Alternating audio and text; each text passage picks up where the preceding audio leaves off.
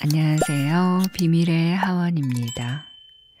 혹시 인생이 이유 없이 꼬이고 있다면 주위에 이런 사람이 있는지 한번 찾아보세요. 내가 도와줄게. 늘 당신의 바람을 이뤄줄 것처럼 말하지만 실제로 해준 것은 하나도 없다. 나도 같은 생각이야.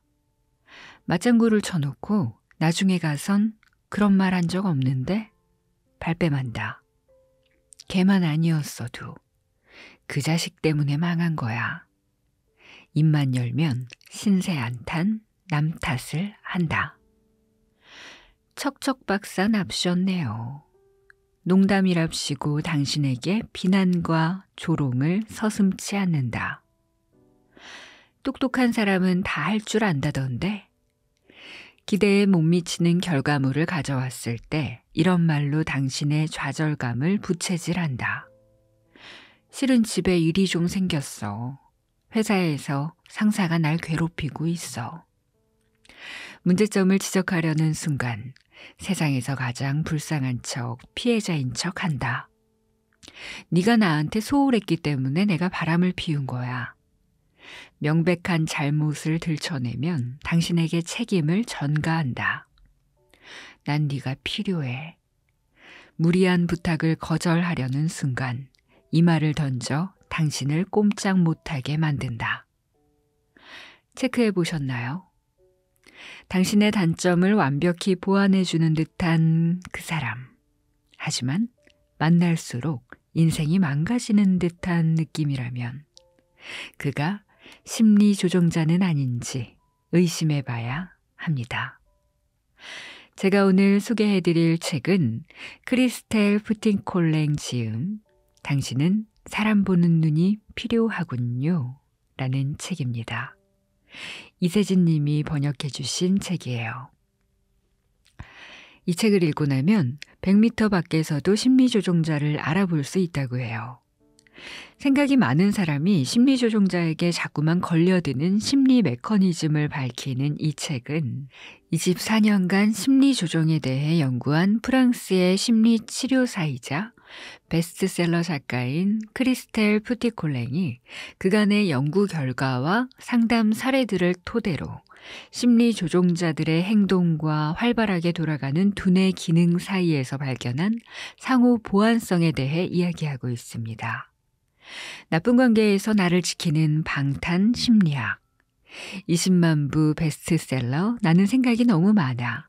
크리스텔 푸티콜랭 심리 처방의 결정판. 당신은 사람 보는 눈이 필요하군요. 지금부터 함께 만나볼까요?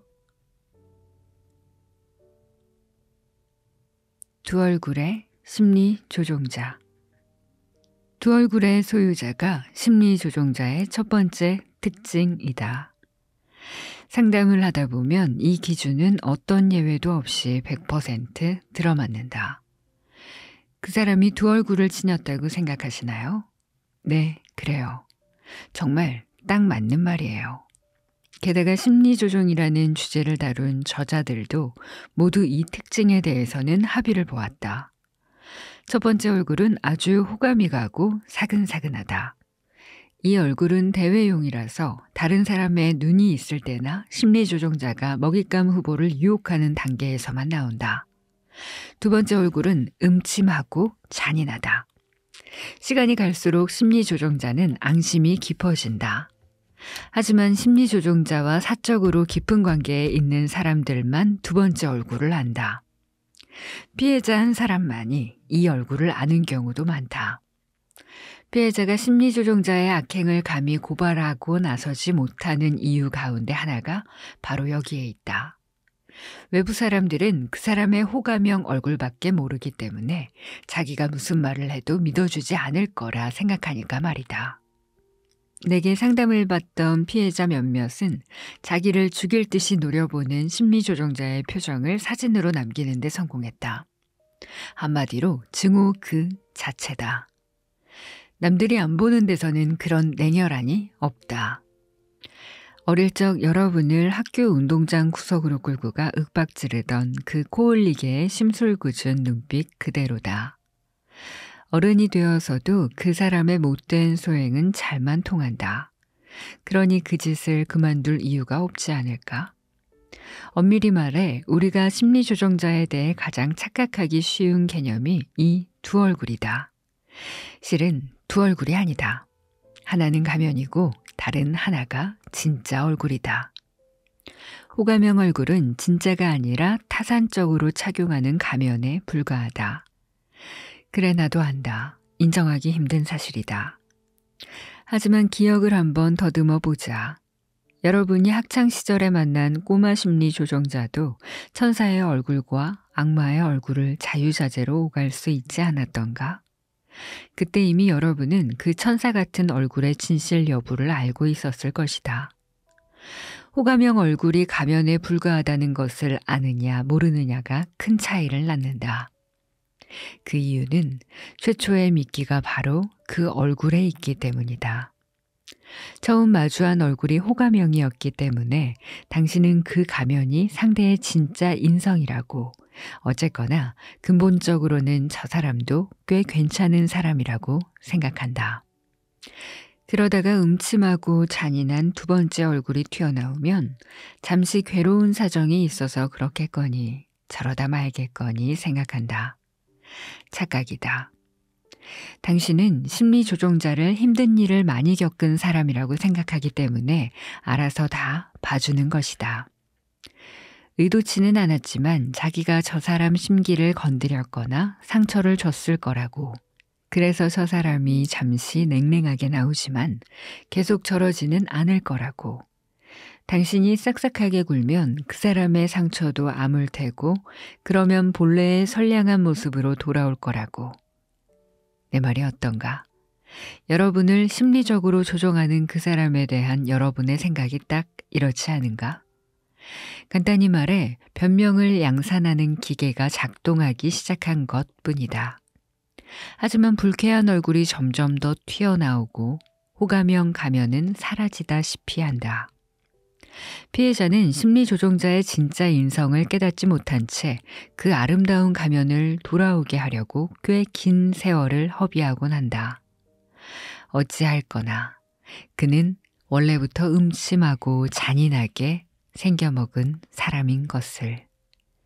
피해자가 잘 참아주고 친절하게 굴수록 심리조종자는 못되게 군다. 그러나 피해자는 낙심하기는 커녕 늘 자기 쪽에서 좀 더 노력하니 상황은 악화 일로를 걷는다. 이 두 얼굴에 대해서 잘못 생각하는 한 혹은 더 나쁘게도 그 사람에게 착한 본성이 있다고 믿는 한 당신은 함정에 갇혀 있을 것이다. 당신이 싫어하는 성격이 그 사람의 진짜 성격이다. 당신이 좋아한 성격은 한낱 신기루였다. 거리를 좀 두고 물러나서 그 수작을 관찰해 보라. 심리조정자는 철저히 계산에 의해 필요한 만큼만 호가명 가면을 착용한다. 당신은 짐작 못했겠지만 그 사람은 친절하게 구는 것 자체를 피곤해한다. 그래서 친절하게 굴 필요가 없다고 생각하면 당장 때려치운다. 아주 구체적인 예를 들어보겠다. 성질 고약한 남편과 별거를 시작한 아내가 내게 상담을 받고 있었다. 아내가 떠난 후로 남편은 개과천선이라도 한 듯 좋은 남자가 되었다. 함께 사는 20년 동안 아무리 말해도 고쳐지지 않던 부분이 거짓말처럼 개선되었다. 나는 아내를 돕는 뜻에서 남편은 20년 동안 아내가 무엇을 바라는지 다 알고 있었으면서 실행에 옮기지 않았기 때문에 지금 그렇게 행동하는 거라고 일깨워 주었다. 나는 단순한 조언을 건넸다. 막연한 약속만 받고서는 남편에게 돌아가지 마세요. 구체적인 계약 조건들을 제시해 보세요. 하지만 남편은 아내를 만날 때마다 구체적인 요구 사항들을 요리조리 피해갔다. 그러면서도 근사한 가면을 장착하고 사랑한다는 맹세를 남발했다. 그러다가 어느 시점이 되자 솔직하게 가면을 벗어던지고 이렇게 말했다. 젠장, 당장 집에 돌아오는 게 좋을 거야. 내가 언제까지나 당신 비위를 맞춰줄 것 같아? 심리 조종자를 웬만큼 상대했던 사람이라면 누구나 제3자가 방에 들어오거나 나가는 순간 그 사람의 얼굴이 스위치 켜듯 확 바뀌는 현상을 목격했을 것이다. 그 현상은 그들이 자기 소행을 완전히 의식하면서 자기 이미지를 관리한다는 명백한 증거다. 하지만 그렇게 생각하면 너무 정남이가 떨어지기 때문에 사람들은 대부분 이 객관적인 사실을 못 본 채 한다. 잘 생각해 보자. 보통 사람은 그렇게 순식간에 안면을 바꾸지 않는다. 그러니 그럴싸해 보이는 가면들을 경계하라. 심리 조종자가 벼랑간 당신에게 친절하게 굴거든 특히 조심하라. 그 사람이 당신의 경계심을 잠재우려는 의도를 품고 있다는 뜻이니까. 사람들은 대부분 호감형 얼굴이 가면이라고 인정하기 힘들어 한다. 상대가 본래 성품은 착한데 잠시 뭐에 씌어 저러는 거라고 생각한다면 그 사람에게 자기가 원하는 대로 오만 가지 변명과 핑계를 만들어 줄 수도 있다. 또한 누구에게나 좋은 점은 있으니 사람을 함부로 판단해서는 안 된다는 천사표 담론에 머물 수도 있다. 상대의 인격은 하나뿐이라고 이해하게 되면 비로소 그 사람이 냉소적이고 타산적이며 자기 존재와 행동을 완벽하게 의식하고 있다는 사실을 부정할 수 없을 것이다. 그때부터 그 사람의 행동을 감싸주면 당신도 공모자가 되는 셈이다. 당신은 입장을 분명히 하고 자기 주장을 펼치고 필요하다면 갈등도 불사해야만 할 것이다. 이런 이유로 피해자들은 매일같이 심리조정자가 내보이는 객관적인 증거를 빤히 보면서도 차라리 자기가 정상적인 사람을 상대하고 있다고 믿고 싶어 한다. 끈앞을 내가닥이면 충분하다. 심리조정의 내가닥 끈앞을은 유혹, 피해자 행세, 위협, 죄의식 조장이다. 이 내가닥이 잘 움직여주기만 하면 심리 조정자는 한껏 당신을 꼭두각시로 부릴 수 있다. 하지만 이 끈앞풀들이 그렇게까지 교묘하지는 않다. 이것들이 제대로 작동하지 않는 날 여러분은 비로소 해방될 것이다. 심리 조종자는 끈앞풀을 조작하는 것 말고는 아무것도 할 줄 모르는 사람이기 때문이다. 여러분 수족의 메인 끈이 다 풀렸는데도 그는 기를 쓰고 예전처럼 자신의 가짜는 기술을 쓰려 할 것이며 그 모습이 딱해 보이기까지 할 것이다. 굵은 끈앞풀이 따로 없다. 심리 조정자의 행동은 점점 더 우스꽝스럽게 느껴질 것이다. 여러분이 거리를 둘수록 그 사람의 의도가 훤히 보인다. 유혹. 심리조정자는 당신을 유혹하기 위해 근사한 가면을 쓴다. 가면을 쓴 그 사람은 왠지 마음에 들고 말도 잘 통하고 친근하다. 하지만 조금 가까이서 들여다 보면 그런 행동이 우애나 애정과 별 상관이 없다는 것을 알 수 있다. 그는 다소 부적절하게 당신과 친한 척하고 무례하다 싶을 정도로 허물 없이 굴고 과하게 호기심을 드러내고 배짱 좋게 불쑥 당신의 사생활에 들어온다. 만난 지 얼마 되지도 않았는데 벌써 사귀는 사이처럼 오래전부터 잘 알고 지낸 친구처럼 행동한다. 자기 멋대로 신체 접촉을 한다든가 당신의 개인 영역에 들어와 바짝 다가선다든가. 그 사람은 입은 환하게 웃고 있지만 냉혹한 눈빛으로 부담스럽게 당신을 주시한다. 심리 조정자는 뻔뻔하게 당신의 미래에 끼어들 것이다. 만난 지 10분밖에 안 됐는데 벌써부터 올해 여름 휴가를 함께 보낼 것처럼 이야기한다. 있잖아, 내가 낚시하기 좋은 데를 알아. 내가 꼭 데려가 줄게. 찡긋 윙크까지 한다. 정말이지 냉철한 눈으로 보면 그 사람은 부침성이 좋다기보다는 오지랖을 떤다고 볼만하다. 심리조정자는 여기에 아부라는 수법을 곁들인다. 당신은 아부 따위에 넘어가지 않는다고? 자신하지 말라. 우리 모두 칭찬, 축하, 격려를 필요로 하고 자신감이 유독 위축된 때라면 더욱더 그렇다. 피해자들은 대부분 이렇게 약해져 있을 때 덫에 걸려든다. 또한 심리조정자는 솔깃한 약속들을 남발한다. 몇 달 지나서 보자. 그 사람은 그중 어떤 약속도 지키지 않을 것이다. 하지만 당신은 자기가 한 말은 꼭 지키는 사람이다 보니 상대가 애초에 지킬 마음도 없는 말을 뱉었을 거라고는 상상을 못한다. 생각이 너무 많은 사람들은 병적일 정도로 철두철미하게 약속을 지키는 편이다. 심리 조정자는 정반대다. 약속은 자기에게 해당 사항이 없는 것처럼 생각한다. 나는 분명히 경고했다. 유혹 단계에 있을 때 심리 조정자는 당신에게 궁금한 점이 참 많다. 당신은 질문 공세에 시달리다 못해 무슨 조사를 받는 기분마저 들지 모른다. 상대의 목표는 당신의 원동력, 당신을 곧바로 발끈하게 하는 시동장치, 당신의 약점을 파악하는 것이다. 당신의 가장 큰 꿈을 알아냈다면 당신에게 족쇄를 채우는 법도 알아낸 것이다. 우리 모두에게는 각별히 소중한 꿈이 있다.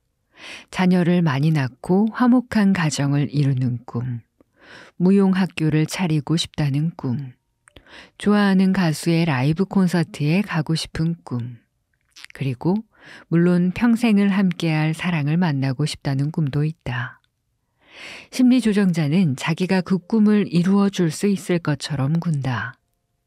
당신이 꿈에 그리던 잘생긴 왕자님 또는 다정한 공주님이 되어 줄 것처럼. 세상에 이런 인연이 있을까? 당신은 늘 자녀가 많은 가정을 꾸리고 싶었는데 이 사람도 아이들이라면 깜빡 죽고 장차 10명을 낳아도 상관없단다. 혹은 그 사람 사촌이 무용교육계에 마당발이고 친구가 시에서 문화교육 사업 지원금을 담당하고 있다고 한다. 절묘한 우연의 일치로 당신이 열렬히 좋아하는 밴드의 베이스 기타가 그 사람의 중마고우라서 말만 잘하면 당신을 VIP 초대석에 앉혀줄 수도 있다나. 순진한 이들을 위해 굳이 부연하자면, 물론 몽땅 거짓말이다. 이 단계에서 심리조정자는 당신의 드림캐쳐로 보이려고 애쓸 뿐이다. 심리조정자가 자기 뜻대로 당신의 꿈을 납치했다면, 이제 당신을 자기 마음대로 부릴 것이다. 심리 지배에서 벗어나는 작업은 상대가 당신의 은밀한 욕망 중에서 어떤 것을 도적질했는지 파악하고 당신이 주도적으로 그 욕망을 실현하는 것이 전부라고 해도 과언이 아니다. 당신은 그 심리 조정자의 중재를 거치지 않고도 자녀가 많은 가정을 만들 수 있고 당신의 무용 학교를 세울 수 있으며 당신의 아이돌에게 좀 더 다가갈 수 있다. 자기 꿈의 주도권을 되찾고 나면 그동안 상대가 얼마나 파렴치하게 당신의 소중한 꿈을 가지고 놀았는지가 보인다. 자기는 정말로 그런 가정을 꾸릴 준비가 되어 있었는데 당신이 다 망쳤다나? 어제 친구랑 통화했고 바로 다음 주면 시 지원금을 받을 수 있는데 당신이 어리석어서 그새를 못 참고 자기를 화나게 만들었다고 할 수도 있다. 그래봐야 당신만 손해라나. 중마고우인 베이시스트가 다음번 콘서트 초대권을 이미 등기 우편으로 붙였다고도 말할 것이다. 정신적 과잉 활동인은 진실하다 못해 속이 투명하게 내비치는 사람들이다. 이 사람들은 의식 구조가 쉽게 파악되고 꿈, 가치관, 신념 등도 쉽게 알아낼 수 있으므로 어떻게 유혹해야 할지가 금세 보인다. 생각이 너무 많은 사람들은 세상 사람들이 전부 자기처럼 약속을 잘 지키고 언제나 진실한 줄 안다. 이들은 모종의 정신적 노력을 기울여야만 상대가 거짓말을 하거나 약속을 어길지도 모른다는 생각을 겨우 할 수 있다. 별 생각 없이 편안하게 대화를 주고받을 때에는 이런 사고가 잘 작동되지 않는다.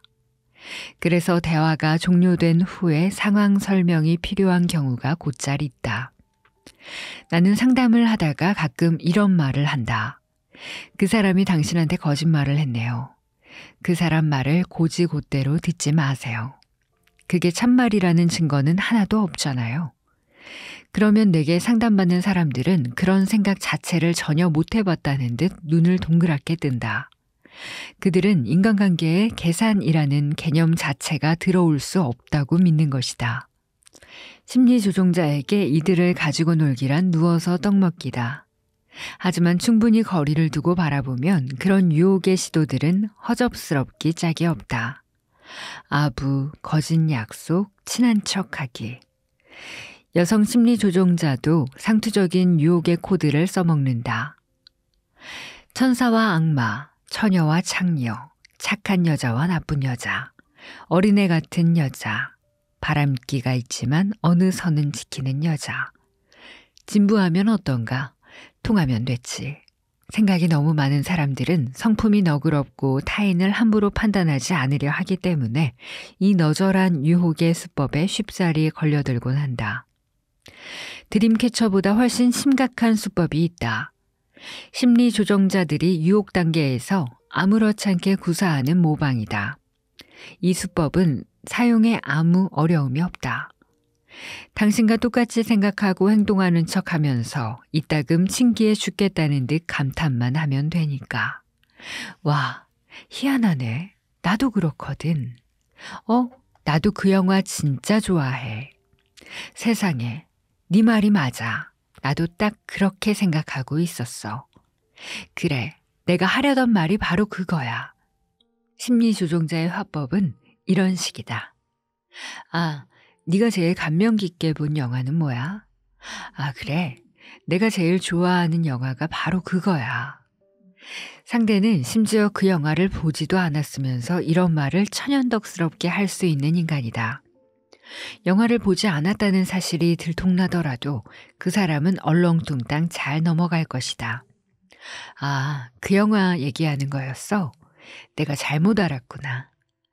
그러고서 얼른 다른 얘기로 화제를 돌린다. 상대는 태도 바꾸기 선수다.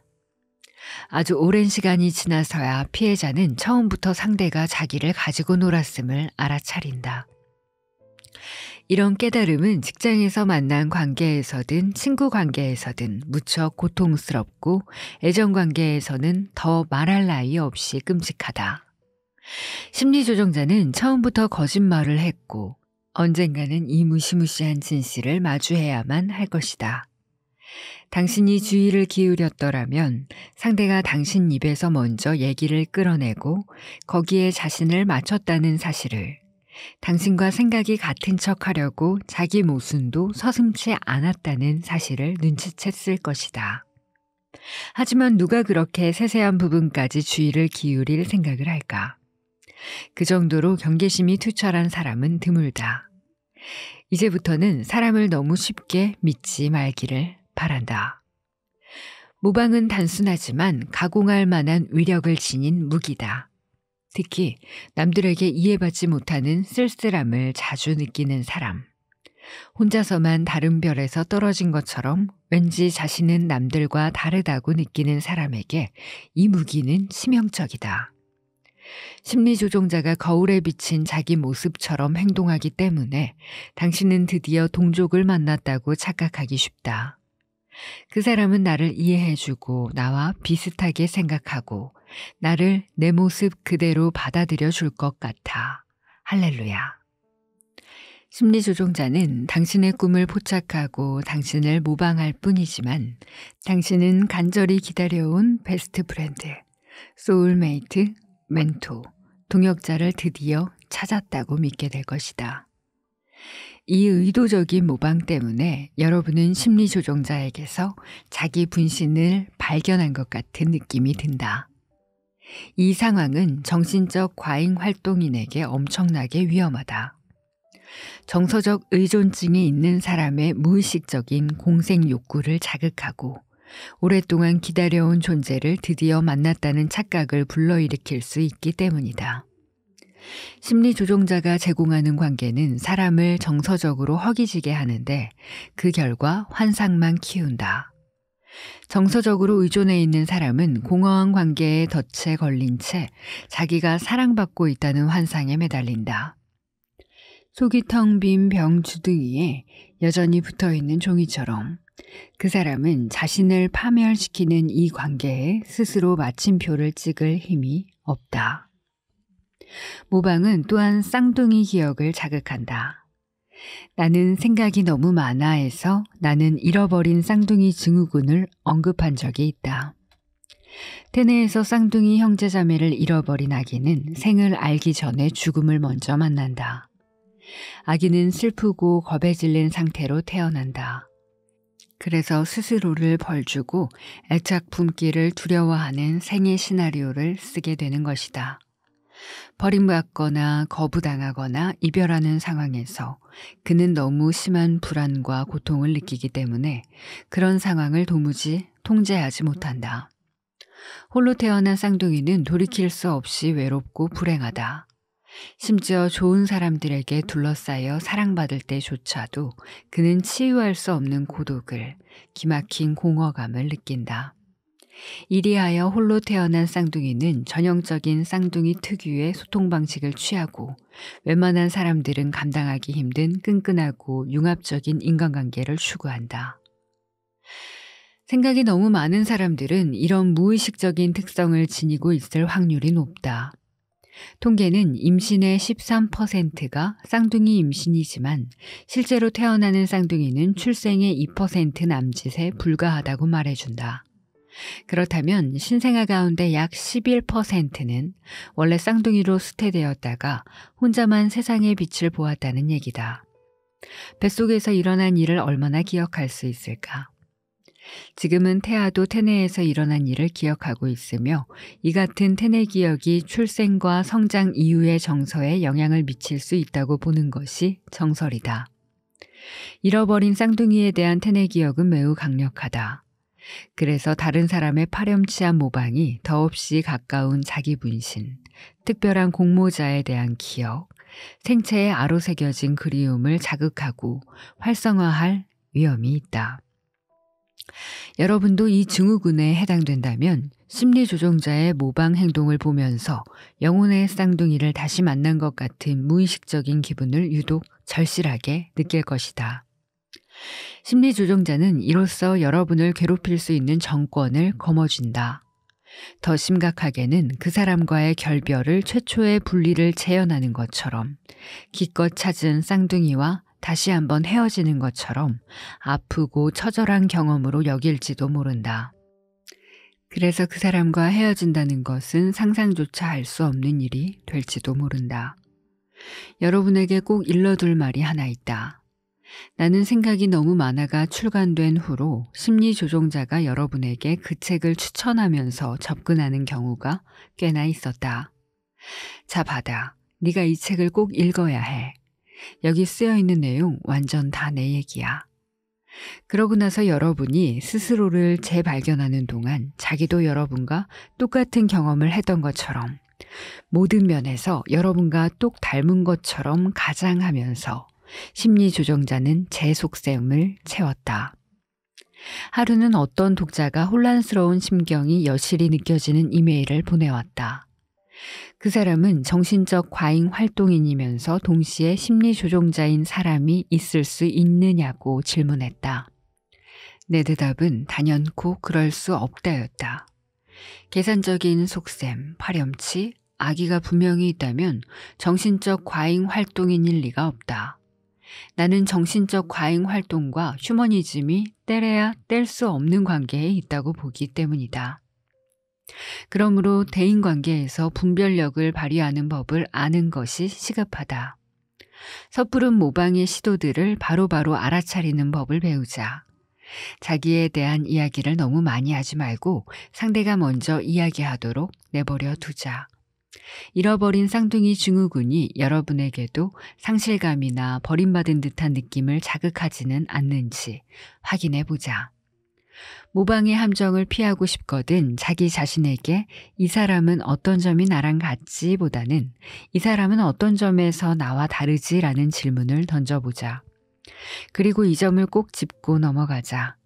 저 사람은 말과 행동이 일치하는가? 말은 거짓으로 짜고 엮을 수도 있으니 말보다는 행동을 잘 보자. 가령 얼마 전에 알게 된 친구가 자기도 당신처럼 대체의학에 심취해 있어서 웬만하면 병원에 가지 않는다고 원인은 내버려 두고 증상만 개선하는 약을 먹기 싫다고 말했다 치자.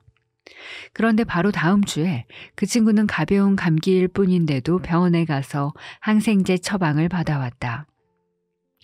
당신 같으면 그런 상황에서 항생제를 먹을까? 업계 동료 하나가 이런 말을 했다. 여자들은 토끼 같아서 귀부터 잡아야 해. 물론 불쾌하고 사람을 도발하는 말이다. 그렇지만 남자들에게도 이에 필적할 만한 독특한 성향이 있으므로 여성 혐오로 치부하고 무시해도 좋은 말은 아니다. 호메로스의 오디세디아에서는 남자들이 세이렌의 노랫소리에 홀려서 넋을 읽는다. 요컨대 성별은 상관없다. 남자든 여자든 귀부터 사로잡히지 않도록 주의하라. 듣기 좋은 약속과 아부를 경계하라. 자기 자신과 자기 가치관, 자기 느낌을 확고하게 믿는 사람일수록 유혹자들의 수작에 잘 넘어가지 않는다. 피해자 행세. 심리조종자는 여러분과 만난 지 얼마 안 되어 자신이 큰 불행을 겪었거나 운이 지독히 나쁘거나 박해를 받은 적 있는 사람처럼 보이려 애쓸 것이다. 그 사람의 목표는 당신의 마음을 자극해 연민을 불러일으키는 것이다. 곰곰이 생각해 보면 학교 운동장에서 잘만 까불던 아이는 담임 선생님이 등장하는 순간 훌쩍대면서 불쌍한 표정을 짓곤 했다. 중학교에서는 신보가 고약하고 남들을 괴롭히기 좋아하는 학생을 힘든 일이 많아서 불안하고 딱한 아이라고 감싸던 교사들이 얼마나 많았던가. 심리조종자가 당신의 동정심을 불러일으켰다면 당신은 함정에 빠진 거다. 이제 그에게 상처가 될 법한 말은 감히 꺼내지도 못할 것이요. 그의 뜻을 거스르는 말조차 못해서 당신의 상식이나 자기 존중마저 양보하게 될 테니까. 심리 조종자들은 알을 갓 깨고 나온 어린 새처럼 보이지만 그들이 뒤집어 쓴 알껍데기는 담금질된 강철과도 같다. 당신 힘으로는 절대로 그 껍데기를 벗기지 못한다. 그들은 자기가 지구에서 제일 불쌍한 사람인 척, 팔자가 더럽게도 사나웠던 척, 나쁜 사람을 만나 인생이 꼬였던 척, 지독히도 힘든 척 하는데 늘 자기 탓이 아니라 남 탓이다. 그들은 늘 하소연을 한다. 목소리가 크고 말이 많다. 수도꼭지 돌리듯 마음만 먹으면 당장 눈물을 쏟을 수 있는 사람들이다. 희한하게도 그들은 늘 자기 불행에 아무런 책임이 없다. 언제나 남들이 죽일 놈 죽일 년이다. 선량하게 짝이 없는 당신은 측은한 마음을 가눌 수가 없어서 적극적으로 도움의 손길을 내민다. 여러분은 쓸모 있는 존재가 되고 싶고 세상을 구하고 싶은 욕구가 큰 사람들이다. 심리 조종자가 피해자 행세를 하면서 활성화하려는 원동력 가운데 하나가 바로 당신의 이런 욕구다. 업계 동료 한 사람이 이런 말을 했다. 배우자에 대한 마음이 오로지 동정심일 뿐이라면 그 사람한테서 벗어나세요. 공감과 연민은 엄연히 구분해야 한다. 공감은 저 사람이 힘들구나, 많이 괴로워하는구나, 헤아려 주면서도 누구나 인생에 힘든 시기가 있음을 전제하는 태도다. 공감하는 사람은 상대가 그 어려움을 스스로 극복할 만한 역량이 있다고 믿어준다. 상대가 바라는 것도 주로 마음으로 지지하고 응원해주는 모습이다. 상대는 자신의 개인적 문제를 당신의 책임이거나 자기 대신 해결해 주기를 바라지 않는다. 소설가 아멜리 노통부는 이렇게 말한다. 나도 다른 사람들하고 똑같아요. 나도 많이 힘들어 봤다는 얘기예요. 심리 조종자들은 정말로 고통을 겪은 사람들이긴 하지만 그들만 그랬던 건 절대로 아니다. 노통부의 말이 맞다. 인생은 아무도 봐주지 않는다. 누구나 삶은 녹록지 않다. 저마다 제 몫의 골치 아픈 문제거리와 애끓는 아픔이 있다. 겉으로 보기에 걱정, 근심이라고는 모르고 살아왔을 법한 사람인데 막상 속내 이야기를 들어보면 기막힌 사연이 있는 경우가 얼마나 많은가. 그런데도 정작 그 사람은 어떻게 저럴 수 있을까 싶을 만큼 늘 올곧고 차분하고 명랑하지 않은가? 정말로 큰 아픔은 말이 없다고들 한다. 이와 달리 심리 조종자들의 아픔은 아주 시끄럽다. 실제로는 이게 가장 큰 차이다. 사람들은 대부분 아픔이 있어도 크게 티내지 않고 꿋꿋하게 살아가지만 심리 조종자들은 자신들의 고통을 극적으로 가장하고 우는 소리를 하면서 타인에게 은근슬쩍 책임을 떠넘긴다. 이제 공감과 연민을 좀 더 잘 구분할 수 있겠는가? 공감은 저 사람도 세상 모두가 그렇듯 힘든 구석이 있구나 라고 이해하는 입장이다. 반면에 연민은 저 불쌍한 사람은 남들보다 훨씬 팔자가 기구하구나. 저 힘없는 사람이 자기 문제를 해결할 도리가 없으니 누가 구해줘야만 하는구나. 내가 아니면 안 되겠구나. 라는 입장이다. 위협. 위협은 세 번째 끈앞풀이다. 여러분이 초등학교에서부터 익히 잘 아는 끈앞풀. 위협은 상대를 조련하는 데 유용하기 때문에 인간관계에서 아주 일찍부터 나타난다. 그런데 위협은 은밀하게 점진적으로 자리를 잡는다. 위협의 목적은 당신을 늘 두려움 속에서 살아가게 하는 것이다. 심리 조종자는 태풍을 몰고 오는 먹구름 같다. 언제나 위협적이고 언제나 예측을 불허하며 점점 더 자주 폭발한다. 그 사람은 초조하고 조급하고 짜증을 잘 내고 남에게 스트레스를 잘 주지만 본인 역시 늘 스트레스에 시달리는 듯 보인다. 심리 조종자가 등장하면 그 공간의 분위기가 바뀐다. 모두 긴장한 듯 부자연스럽게 군다. 그러다가 그 사람이 나가면 다시 숨통이 트이고 편안하게 풀어진다. 찬찬히 생각해 보면 이게 다 코미디지만 그 점을 의식하는 사람은 별로 없다. 그렇지만 심리 조종자는 다른 사람들의 시선이 없는 곳에서 당신에게 충분히 압박을 가하고 난 후에 휘파람을 불며 그 자리를 든다. 유혹 단계가 지나갔다면 초반에 당신에게 바치던 칭찬과 찬사는 비난과 조롱으로 변하고 그 강도는 점점 더 높아질 것이다. 당신은 점점 그의 판단을 두려워하며 벌벌 떨게 될 것이다. 당신이 반발하면 심리 조종자는 다 당신이 잘 되기를 바라는 마음에서 비판하는 거라고 응수할 것이다. 평생 어리석고 못난 부적응자처럼 살고 싶으면 그래라. 너만 손해라는 식으로 자기는 당신을 조롱하지 않았다며 농담도 못 받아들이느냐고 할 것이다. 결국 당신만 유머 감각도 없는 사람이 되고 만다. 하지만 그 사람이 유머랍시고 던지는 말은 초등학생만도 못한 수준이다. 부담스럽고 아픈 데를 건드리고 바보 같고 똥오줌 소리만 들어가면 다 웃기는 줄 아나? 심리 조종자는 잘 삐진다. 그게 그 사람 취미다. 벼랑간 정색하고 입을 꾹 다문다. 그러면 분위기가 무거워진다. 심리 조종자는 말없는 비난의 화살들을 쏘아댄다. 저 사람이 왜 갑자기 심기가 상했는지 짐작하고 알아내는 것은 당신 몫이다. 나중에 그는 발작이라도 하듯 분노를 쏟아내고 한바탕 난리를 친다. 도대체 저런 폭력성을 어떻게 속에 담고 살았나 싶을 정도다. 다시 한번 기억하자. 심리 조정자는 눈 깜짝할 사이에 이 얼굴에서 저 얼굴로 바뀔 수 있는 사람이라는 사실을. 실제로 그는 자기가 어느 선까지 막 나가도 되는지, 어느 시점에 멈춰야 하는지 귀신같이 꿰고 있다. 견디기 힘든 토라짐과 분노 발작은 다소 위장된 보복으로 차츰 발전할 것이다. 이걸 해독하는 것도 당신 몫이다.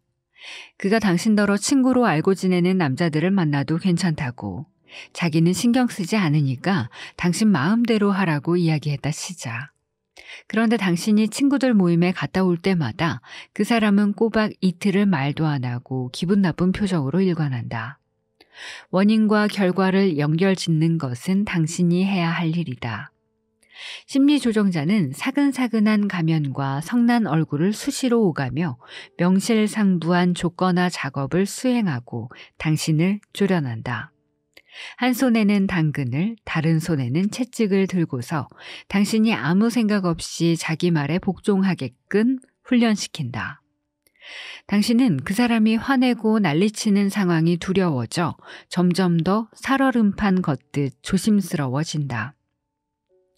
매사에 그 사람을 이해하려 하고 반응을 예측하려 하고 무슨 일이 있어도 심기를 거스르지 않으려 애쓴다. 심리 조종자는 당신이 마음 깊숙이 묻어둔 무의식적인 두려움이나 비이성적인 두려움 또는 두 가지를 모두 자극할 줄 안다. 상처 입힐지 모른다는 두려움, 부당한 처사를 하거나 무능한 존재가 될지 모른다는 두려움, 거절당하거나 버림받을 수도 있다는 두려움까지. 당신이 기울이는 노력이 무색하게도 험악한 상황은 점점 더 발생하고 괴로움의 강도 역시 높아진다. 긴장된 분위기나 갈등을 특히 못 견디는 당신에게는 평화와 조화가 필요하다. 그래서 숨 쉴 만한 분위기를 만들어 보겠다는 일념으로 자기도 깨닫지 못하는 사이에 매우 고분고분한 사람, 늘 지나치게 상대에게 맞춰주는 사람이 된다. 당신의 복종은 사태를 더욱 악화시킨다. 당신이 털을 닦아 놓을수록 상대는 더 멀리까지 갈 수 있기 때문이다. 두려움은 위험을 피할 수 없다는 말이 있다. 심리 조정자와의 관계에서 이 말은 특히 일리가 있다. 당신이 확실하게 자기 입장을 밀고 나가지 않는 한 심리 조정자는 멈추지 않을 것이다. 언제가 됐든 조만간에 자기 주장 펼치는 법을 배워야만 한다. 그와 동시에 그 사람의 가면이 떨어져 나가면 진짜 본성이 보일 것이다. 당신 눈으로 보아도 믿을 수 없는 본성. 심리조정자는 잔인하고 질투가 심하고 미움이 많고 심보가 고약한 사람이다. 그가 남들을 두고 하는 말은 많은 것을 시사한다. 그 사람 말로는 자기 빼고 모두 바보 멍청이다. 꼴 좋게 됐다거나 자기를 거스르면 따끔한 맛을 보게 될 거라나. 자신의 치사한 복수와 등살이 그렇게도 흡족한 모양이다. 당신에 대해서도 마찬가지 태도를 보일 거라는 점은 모르려야 모를 수가 없다. 그의 위협은 간접적일 때가 많다. 그렇지만 상상력이 풍부하고 생각이 너무 많은 당신의 두뇌가 나머지를 알아서 한다. 당신은 그동안 일어난 어떤 사건들이 우연만은 아니었던 것 같다고 의심을 품기 시작한다. 심리 조정자는 수동적 공격성을 띈다. 달리 말하자면 상당한 공격성을 잘 은폐하고 있다는 뜻이다. 그는 고의가 아니라 실수인 척 더럽히고 망치고 부러뜨리고 망가뜨리고 잃어버린다. 그 사람의 부주의나 섣부른 짓 때문에 당신만 손해를 보는 것이다. 당신이 허리를 숙이고 있을 때 그는 당신 머리 위에 찬장문을 열어놓고 그 사람이 제멋대로 옮긴 가구에 당신은 발을 찢는다. 계단을 함께 내려가다가 그 사람이 밀치는 바람에 넘어졌어도 절대 일부러 그런 건 아니다. 그는 단지 냄비가 화상 입힐 만큼 뜨겁다고 말할 생각을 못했을 뿐이다. 심리 조정자들은 더 위험한 짓도 저지를 수 있다. 당신을 아무데나 버려놓고 가고, 당신을 차에 태운 채 트럭으로 돌진하는 신용을 하고, 당신 머리를 향해 물건을 던지기도 한다. 그러면서 당신이 너무 겁이 많고 과보호를 한다고 비난한다. 이 표현을 기억해 두자. 그 생각이 문득 머릿속을 스치더라고요. 내게 상담을 받은 이들은 모두 심리조종자의 악이나 위험성을 무의식적으로만 감지할 때 하나같이 이런 말을 했다.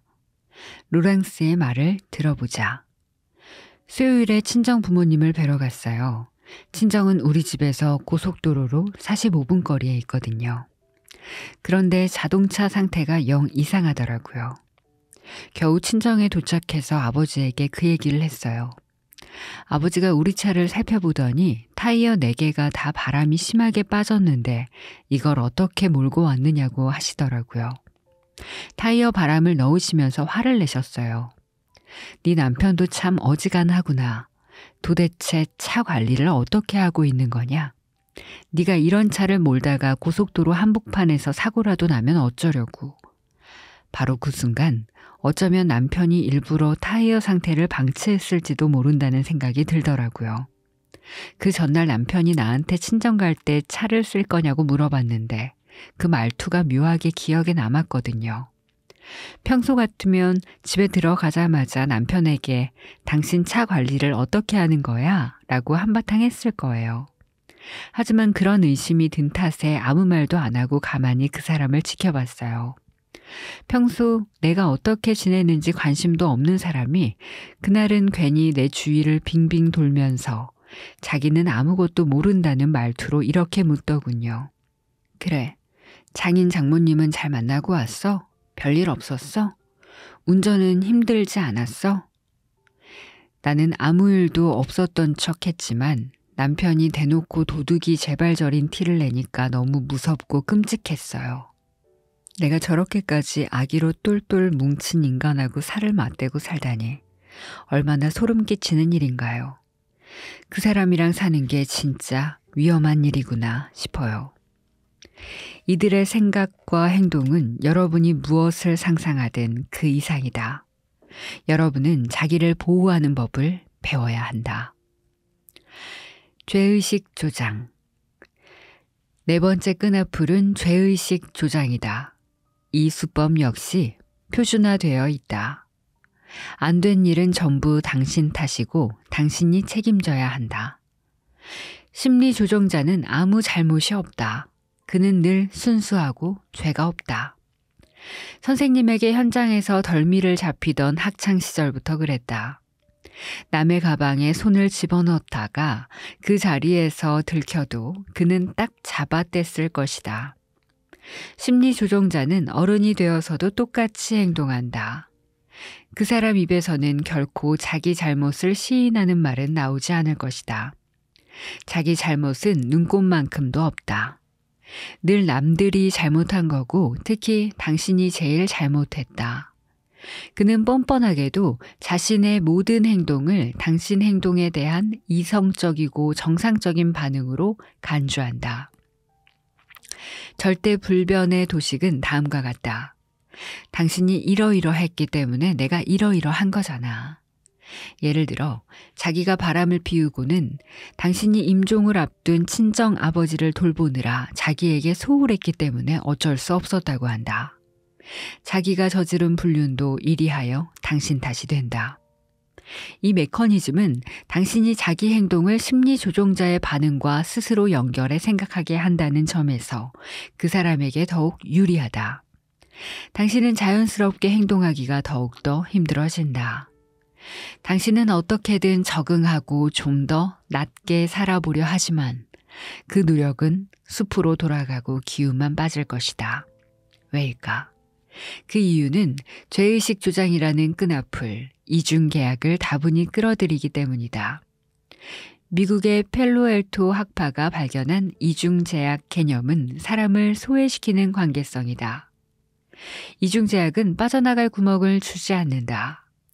당신이 하양이라고 말하면 깜장이라고 했어야 한다고 비난하고 반대로 깜장이라고 말하면 왜 하양이라고 하지 않았느냐고 비난한다. 간단하다. 당신이 뭘 하든 그걸 하면 안 된다고 비난하는 것이다. 심리 조정자는 싫어하는 것이 많기도 참 많지만 자기가 정말로 뭘 원하는지 자세히 말하지 않는다. 그래서 당신은 쓸데없는 예측과 취사 선택으로 인생을 낭비하게 된다. 결국 당신이 뭘 하든 절대 그의 기대에는 미치지 못할 것이다.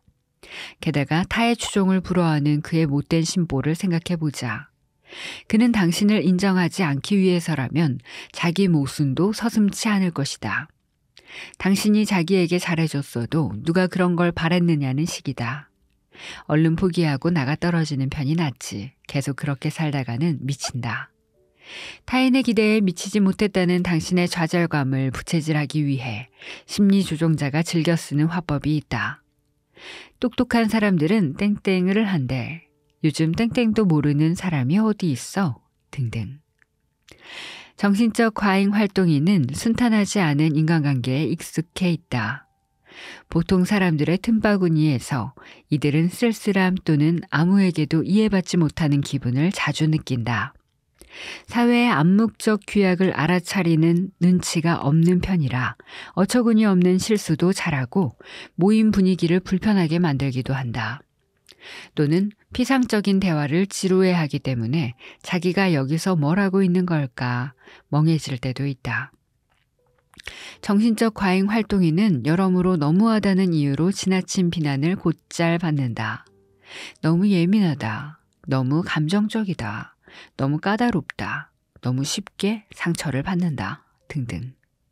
그런데 정신적 과잉 활동인은 만약 문제가 있다면 상대가 아니라 자기 쪽에 문제가 있을 거라는 생각에 익숙하다. 다른 사람들을 이해하려면 자기가 열심히 노력해야 한다는 생각에도 익숙하다. 이 때문에 소통이 잘 안 되면 그들은 죄의식에 빠지기 쉽다.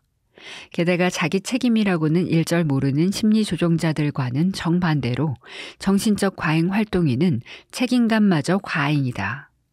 이들은 자기 몫의 책임을 감당하는데 연연한 나머지 남의 책임은 남의 몫으로 남겨두어야 한다는 사실마저 있는다. 양심적인 사람, 일을 잘하고 싶은 사람, 뭔가를 증명해 보이고 싶은 사람에게 죄의식을 조장하기는 아주 쉽다. 심리 조종자는 이 빈틈을 이용할 줄 안다. 더는 조종당하고 싶지 않다면 확실하게 이 끈앞을 네 가닥을 끊어내야 한다. 이 책에서 그 작업을 해볼 심산이다. 일단은 이 4대 노선만 기억해 두자. 호가면 가면, 듣기 좋은 말, 속빈 강정 같은 약속에 더는 넘어가지 마라. 오직 사실과 행동에 비추어 사람을 판단하라. 무엇보다도 이제는 관계의 백지 수표를 끊어주지 마라. 시간을 충분히 들여라. 사람 됨됨이를 고작 몇 시간 만나고 알 수 없으니 말이다. 끈끈한 연민에 빠져 허우적거리고 싶지 않거든 못된 사람과 불행한 사람을 혼동하지 마라. 아무리 모진 불행을 겪었어도 절대 남에게 못되게 굴지 못하는 사람이 있고 자신의 못된 심보가 흡족하기만 한 사람도 있다. 정상적인 사람이라면 자기 문제는 자기가 책임지고 해결해야 한다고 생각한다. 여러분은 이제 학교 운동장에서 뛰어노는 초등학생이 아니다. 자기 자신을 보호할 수 있는 규칙들이 있다. 더 이상 위협에 넘어가지 마라. 가급적 갈등을 피하고 자기 주장을 차분하게 펼치는 연습을 하라. 이제 남의 행동에 책임감을 느끼지 마라. 심리 조종자와는 평온한 인간관계가 불가능하다는 점을 인정하라. 무엇보다 당신에게 함부로 할 권리는 아무에게도 없다. 당신은 더 나은 대접을 받을 자격이 있다. 심리 조정자는 끈앞풀을 조정하는 재주를 빼면 허수아비다. 당신에게 그 끈앞풀이 먹히지 않는다면 당신은 자유롭다. 그 다음부터는 심리 조종자가 통하지도 않는 끈앞풀을 물고 늘어지는 모습이 우스꽝스럽다 못해 애잔해 보일 것이다. 내게 상담받는 사람이 예전 같으면 눈물을 흘리면서 괴로워했을 일을 웃으면서 아무렇지도 않게 말하는 모습을 볼 때마다 나는 행복해진다. 여러분도 그럴 수 있기를 바란다.